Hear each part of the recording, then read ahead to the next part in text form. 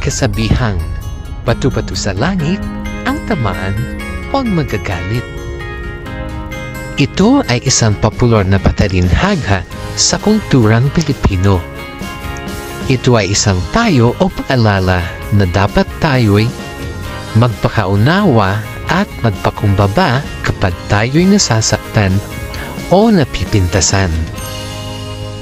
Ang paggamit ng salitang bato at langit ay nagpapakita ng simbolikong kahalagahan ng kataas-taasang kapangyarihan ng Diyos o ng Panginoon.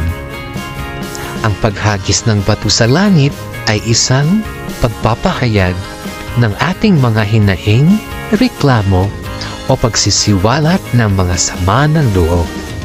Ganon pa man, ang kahit sino pa ang tamaan ay hindi dapat magalit o magtanim ng galit at pagkamuhi.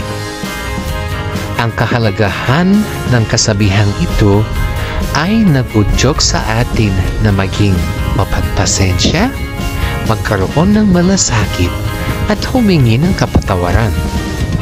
Sa halip na magalit o, ma o mag-retaliate, mas mainam na magsilbing daan ito upang magkaroon ng pagkakasunduan, pagkakaisa, at pagkakasundo sa gitna ng mga hidwaan o pagkakaiba. Ito rin ay nagpapakita ng pagpapahalaga ng respeto at pagpapakumbaba sa pamamagitan ng pag-iwas sa pagkakagalit, nagpapakita tayo ng pagbibigay pugay sa kapangyarihan ng Diyos at pagpapakumbaba sa mga kapwa natin.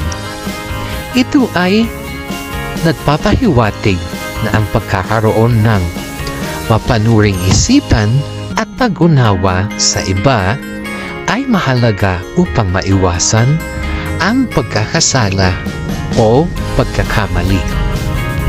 Sa kabuuan, ang kasabihan ito ay isang paalala na kailangan nating maging matatag at mapagmahal sa gitna ng mga hamon at pagsubok sa buhay.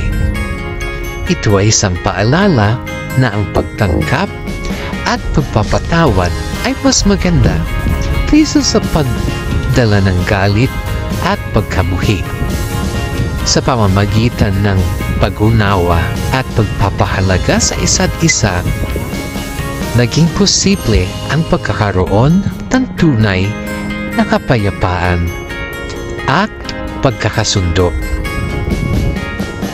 Tandaan, bato-bato sa langit, ang tamaan wag magagalit